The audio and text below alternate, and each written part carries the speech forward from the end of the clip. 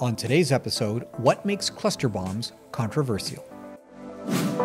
Today's episode is brought to you by Engineering.com, a globally trusted source for engineering content. Check out this and many other exclusive videos for the engineering professional found only on Engineering.com TV today.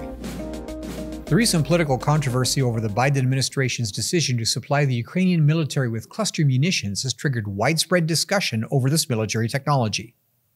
Much of the discussion is political and much of it is technically inaccurate.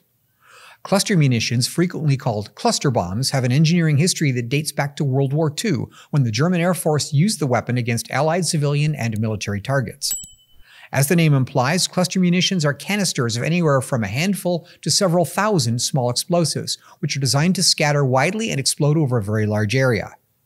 Even the first generation devices of 75 years ago were very lethal, and a single submunition, then called a butterfly bomb, could deliver death or injury up to 100 yards away from the point of impact.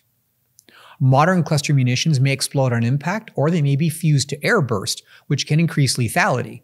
Incendiary versions also exist.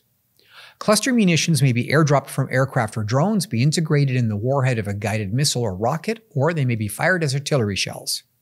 The reason why cluster bombs are controversial is not because of their battlefield effect, but on the potential for civilian casualties from unexploded submunitions that may remain for months or years after battle.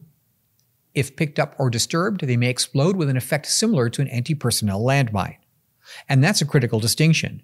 Anti personnel landmines, which may also be dropped in clusters like a cluster bomb, are designed to land intact and detonate when stepped on or disturbed, primarily to act as an area denial weapon on the battlefield.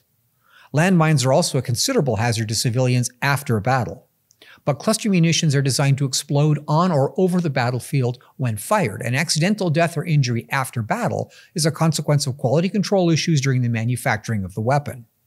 The Cluster Munition Coalition of the International Campaign to Ban Landmines created a convention on cluster munitions in 2008 to create an international framework for prohibition of these weapons, similar to efforts to ban landmines.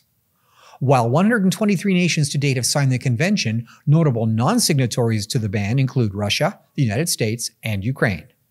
So far in the Ukrainian conflict, no publicly available statistical analysis of the failure rate of cluster munitions in use has been released. But unlike landmines, better manufacturing quality control and high reliability fuses and dispenser mechanisms are an engineering approach which could have the effect of greatly reducing or eliminating the hazards of cluster munitions without an outright ban.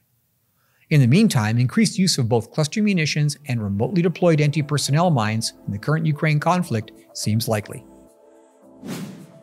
Well, that's it for today's episode of This Week in Engineering, brought to you by Engineering.com. For our deeper engineering series, visit Engineering.com TV for exclusive shows like Manufacturing the Future, Designing the Future, and the Engineering Roundtable, not found on our YouTube channel. The links are in the description below. Thanks for watching.